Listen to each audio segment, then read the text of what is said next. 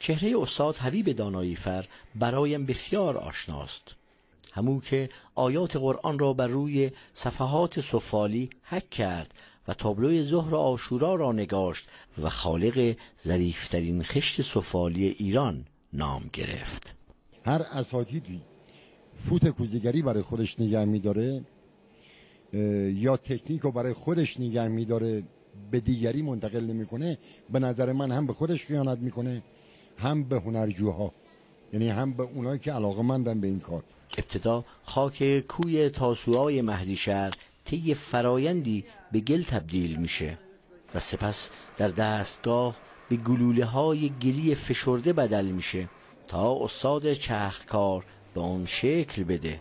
پنجاه سال من تهران کار کردم. عشقی دارم برای این من هشت سالگی دسته می‌زدم. استاد دانایی فرد شاگردانی هم داره که خود استادانی در آینده خواهند شد.